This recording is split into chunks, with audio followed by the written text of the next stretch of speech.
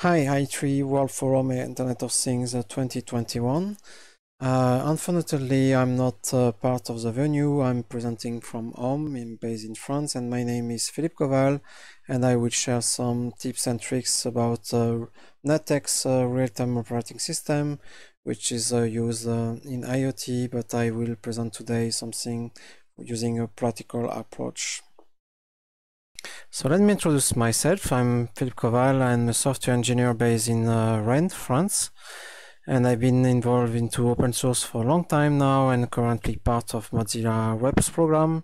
I'm interested into uh, Internet of Things and operating systems. So I've been involved on uh, open source projects supported by the industry. Uh, when I was at uh, working for Intel OTC, I work on Tizen operating system, and then I joined Samsung open source group where I work on IoTivity, the framework from Open Connectivity Foundation.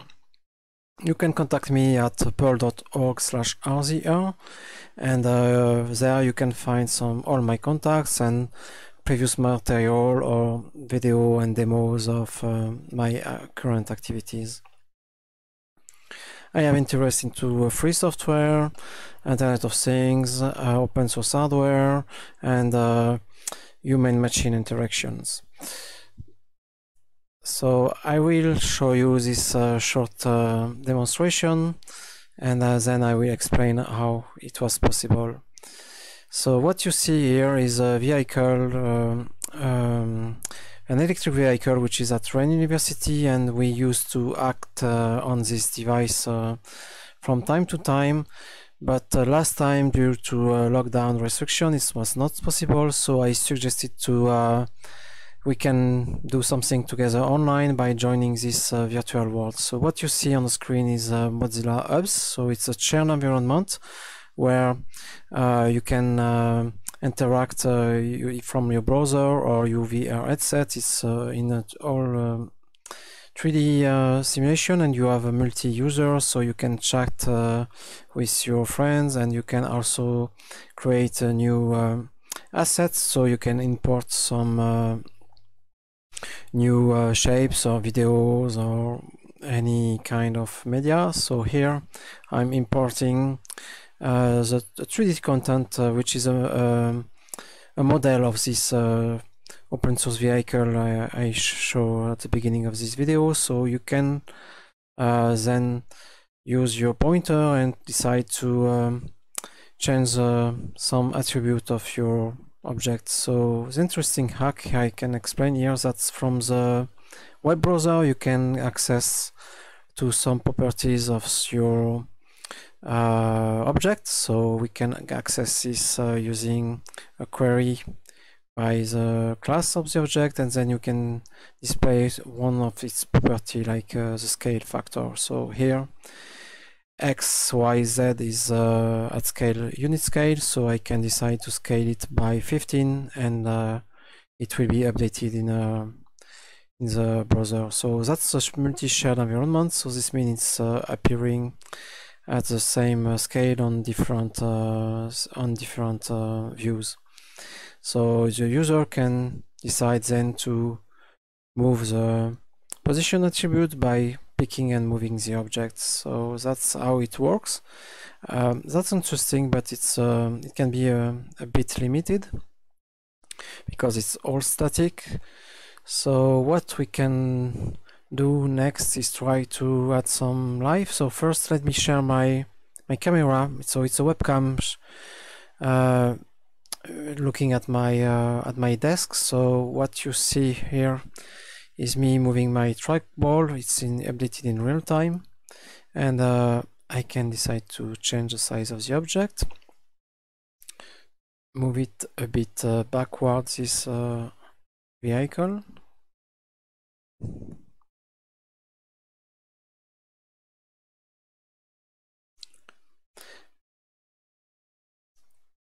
And what you see uh, next to my uh, hand is a, a, Lego toy. So the purpose of this demonstration is to use uh, the uh, um, this embedded uh, uh, device. So it's a, development board. So it's an NXP Freedom board, and I will explain how to make it run uh, using NuttX and to make something useful out of it. So this is NuttX uh, configuration uh, screen.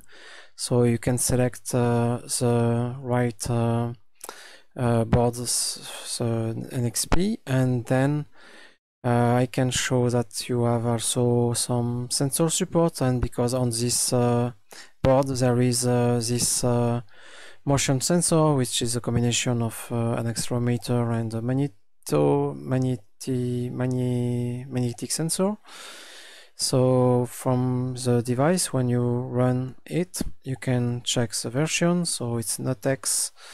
Uh, this is not latest version, but it's close to uh, the current one.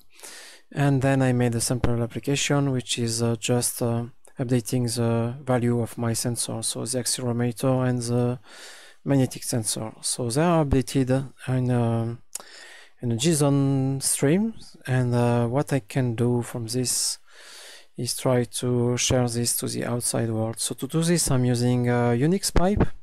So in this case this is a, a NuttX pipe and uh, I can decide to uh, run my application which is outputting the JSON uh, stream to this pipe. So it's running in the background.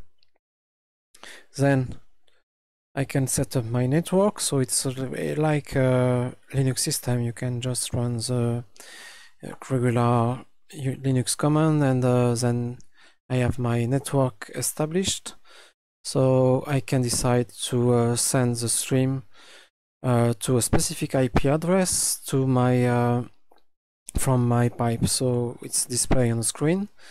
I have another application which is uh, forwarding this uh, JSON stream to a WebSocket. So as I've shown previously, we can change the scale of a, a property.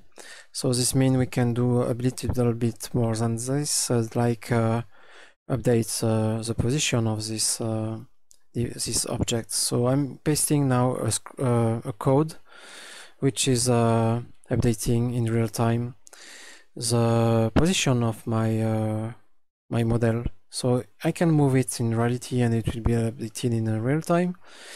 That's uh, the principle of digital twins. This means uh, virtual and physical environment tied together and updated in a, in a same in a real time. So it's oscillating a little bit because probably I should use some Kalman filter or another way to prevent this small oscillation which is caused by the sensor.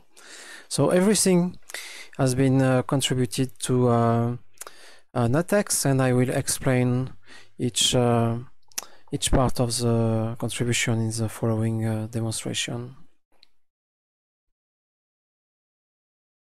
So this demonstration is illustrating my uh, ongoing Web of Twins experiments. So I've been interested into making uh, physic um, digital twins. This means 3D mm, models and uh, bound to real physical device. So I will not explain too much about it today, but uh, feel free to reach my links. You will find some updates and also it's uh, illustrating about uh, Mozilla Hubs, which is a distributed online multi-user environment that can be convenient uh, in a situation where people can not get in the same physical place.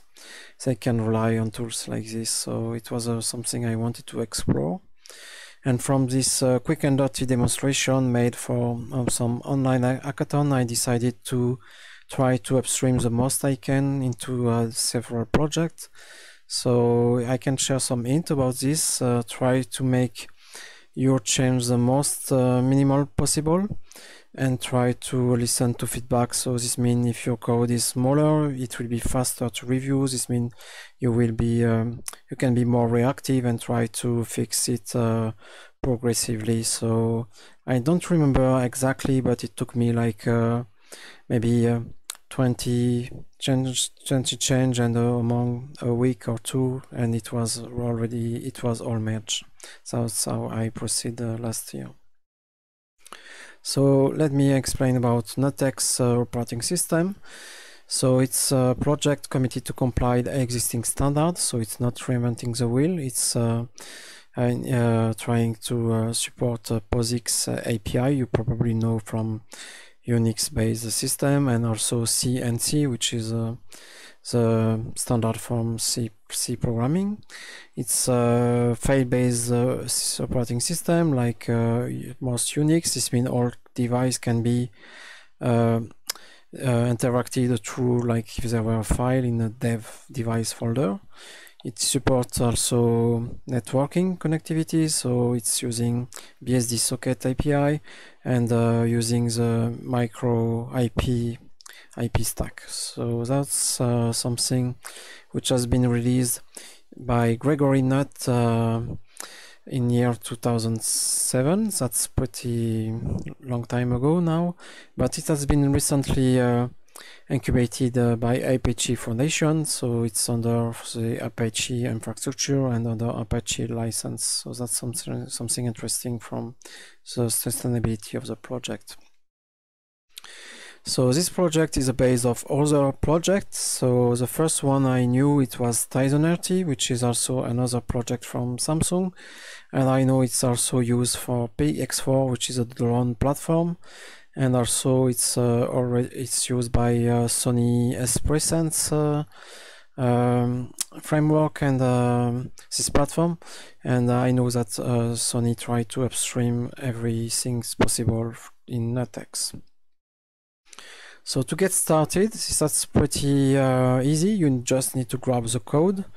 So it's all open source. It's hosted uh, on GitHub. So there is two repository you need to download. The first one is source code of the operating system NuttX, and the second one, which is optional, which is uh, just a demo application. So if you just want to use uh, the base uh, base uh, operating system, there is a few application like uh, the um, NS, NSH, which is a NuttX shell where you can run a couple of commands. But if you want more advanced application, you need to uh, pick them from the apps folder. So you just need to to clone uh, both folder and the make file will be updated because I will find the apps uh, folder just under the NuttX one.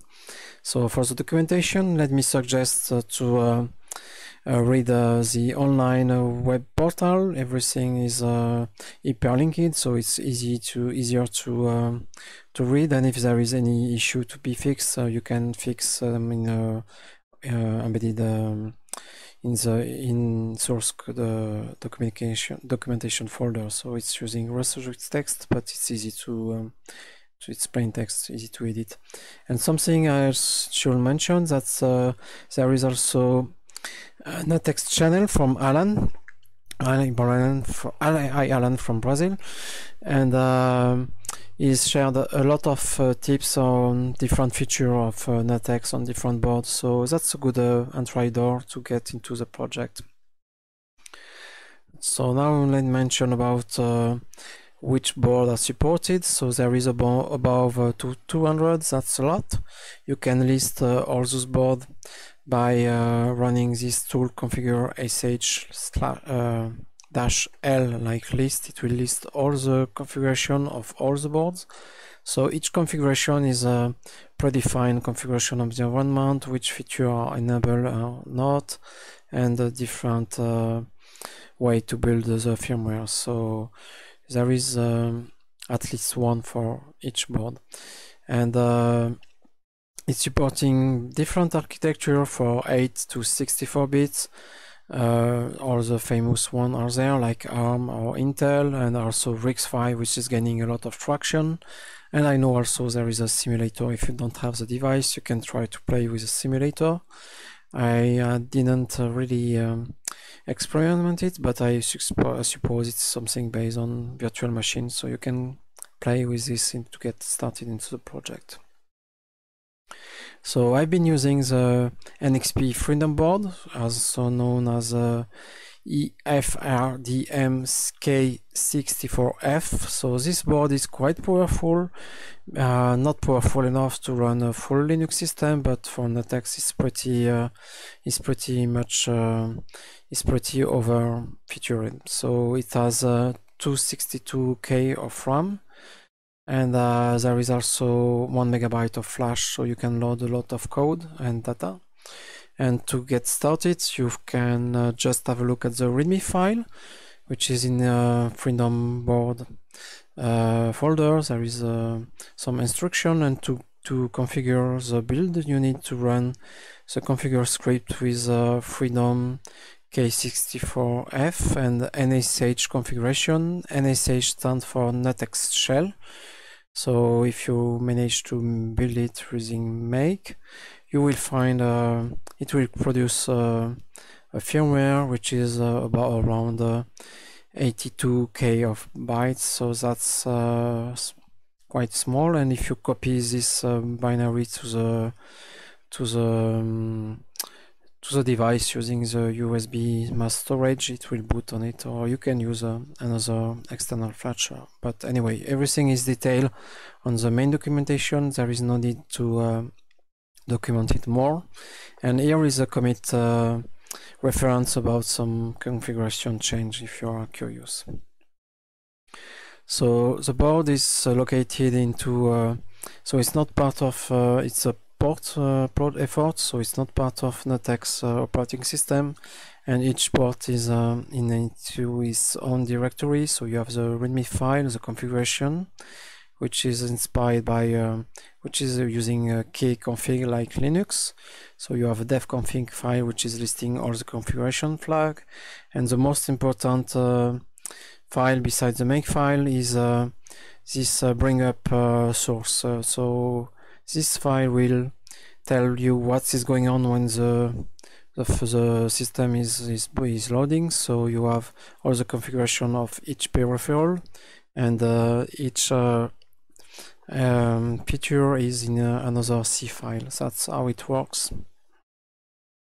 So let's look about uh, I2C support which is a bus for uh, using sensor. I've been uh, shown in the previous video so there is a C file which is which is built if the I2C um, configuration is enabled and it will register the uh, I2C device in the bring up uh, uh, source code. So there is a function called I2C dev initialize and it will uh, register the device.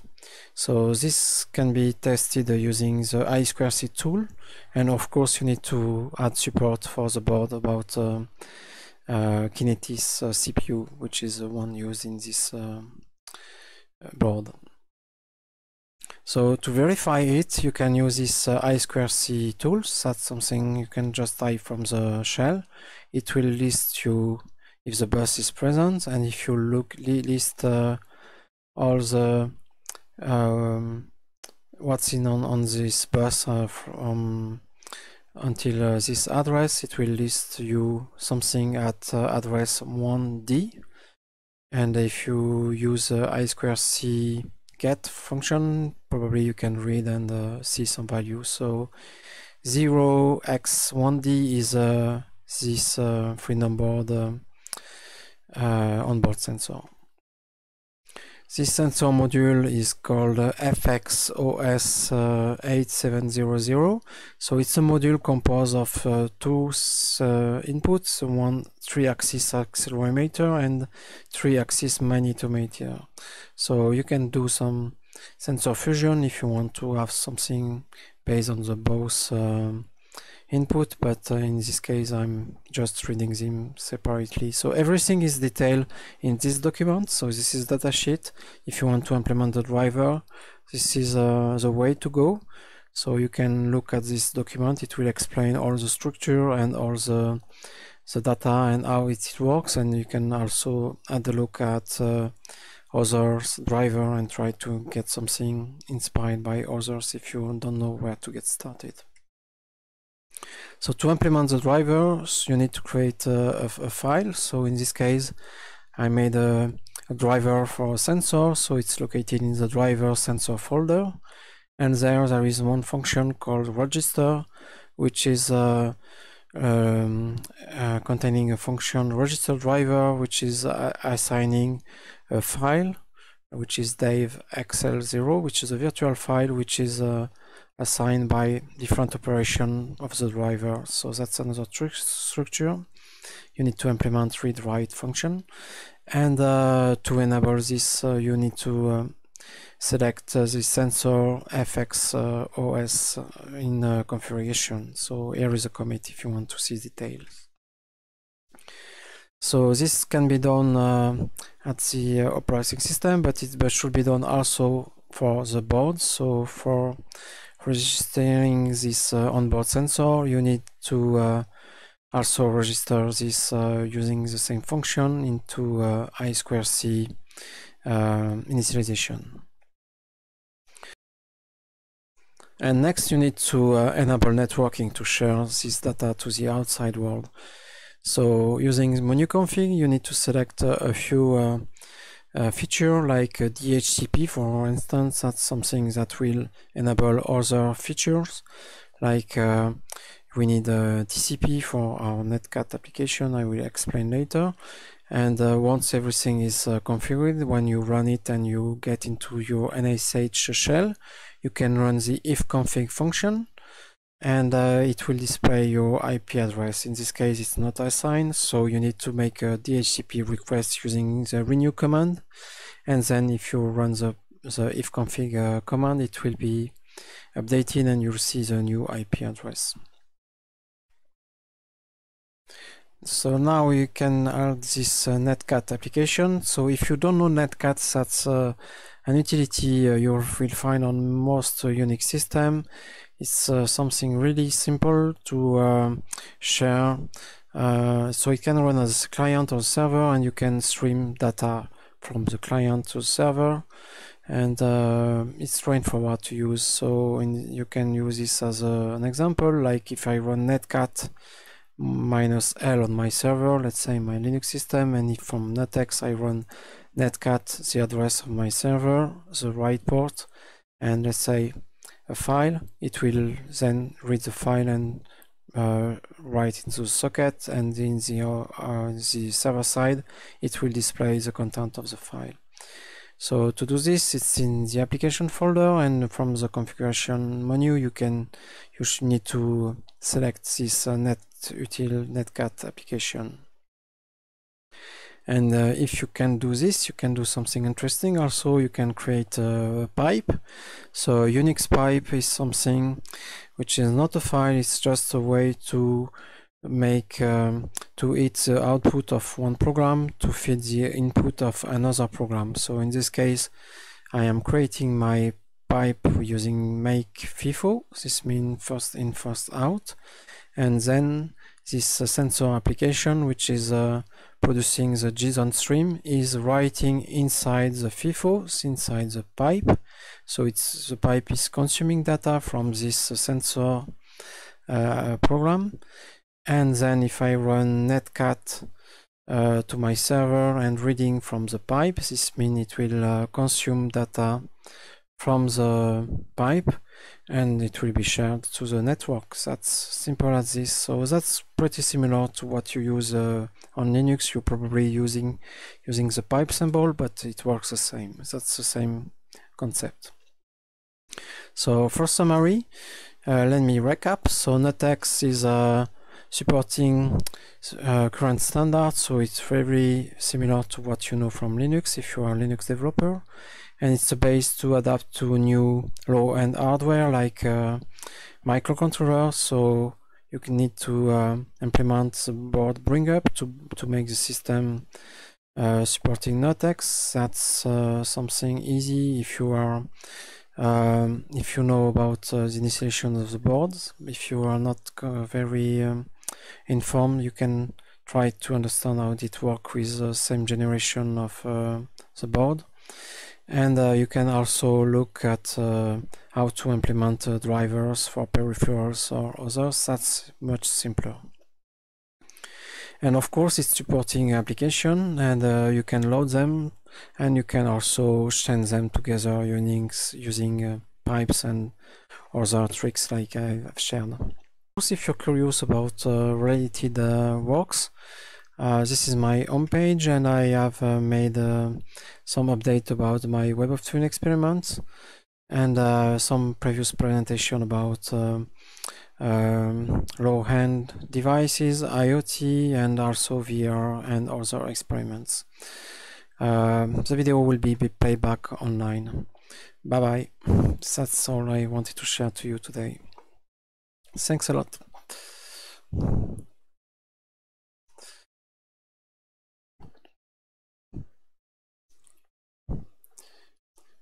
So if you're curious about uh, why I try to um,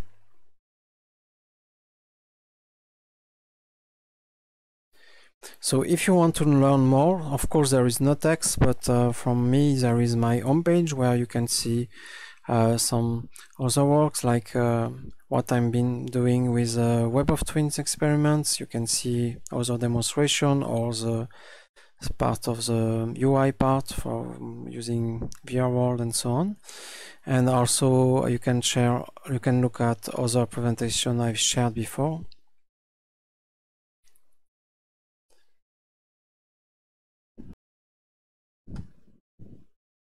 So for Freedom Board uh, owners, there is a little challenge. So let me first introduce my DIY PinCab device. So it's a pinball simulator. Uh, that's something I made during a first lockdown. So it's quite fun to play, and uh, I can, you can also run it because it's all free software. And uh, originally it was built on Emilia Pinball, and uh, you can use um, a keyboard for controlling events and I made this little arc using USB mouse to uh, control the flippers and there is two mouse one for each side and uh, you can also use a middle button for the plunger and then I made some kind of combination of buttons to produce uh, those nudge effects but it's not really um, intuitive so I thought it could be improved um, using uh, this uh, sensor onboarded on this uh, NXP board.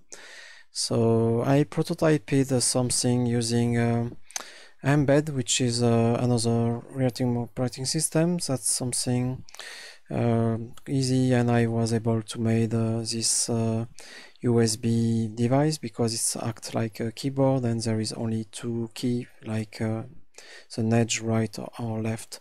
So that's something that can be read, read on using NuttX. And uh, to do this, uh, we need to get into uh, USB support for gadgets and uh, host devices. So that's something can be improved. And uh, if you do, let me know. That's something I'll be curious to see. Hi, before this presentation uh, is over, I want to share again some of my links. So on purl.org slash rzr you will find all my contacts. You can link me to uh, other uh, activity feed I'm updating and uh, this presentation you're watching now uh, will be probably recorded, but you can already check the slides on my presentations uh, page. And uh, as you can see, I made a lot of uh, demonstration and share the proof of concept. Also, excuse me if the video is not uh, always the best quality, but I wanted to, to share something as soon as got something working. And if you're curious about my uh, Web of Twins experiment and research, uh, you can check this uh, Web of Twins uh, feed. So I'm sharing some updates on my research. So that's something I thought that could be valuable, and specifically in a situation where people cannot uh, work together like they used to be before this uh, COVID-19 uh, change in history. So I thought that using this kind of technology can be more natural and people can try to interact without being in the same place. So this means using uh, uh, something more natural to interact with computer and machines. So I believe that the digital twins can be uh, useful in this context, but there is also a lot of use cases. I have also interest into a social web where people can interact, and of course you can subscribe to see more videos. Uh, thanks a lot. Uh, this was the first time for me to be at this uh, event to be and not to, to be because I was presenting from home. And uh, see you next time next place uh, whoever knows. Bye bye